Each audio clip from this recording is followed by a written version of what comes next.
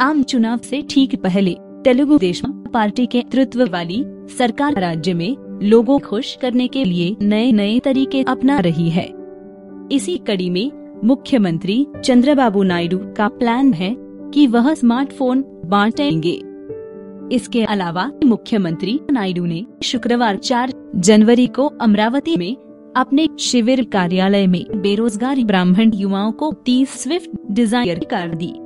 नायडू ने इससे पहले 1 जनवरी को राज्य की वित्तीय एवं आर्थिक विकास दर पर एक श्वेत पत्र जारी किया इस श्वेत पत्र में राज्य के प्रत्येक परिवार को मुफ़्त स्मार्टफ़ोन देने की घोषणा की गई।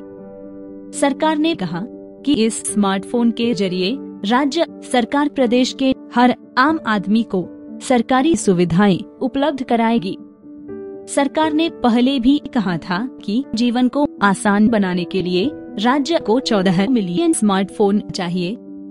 आंध्र प्रदेश सरकार की योजना के अनुसार ब्राह्मण वेल फेयर कॉरपोरेशन दो लाख रुपए की सब्सिडी देगा और लाभार्थी को गाड़ी की कीमत की 10 फ़ीसदी रकम देनी होगी।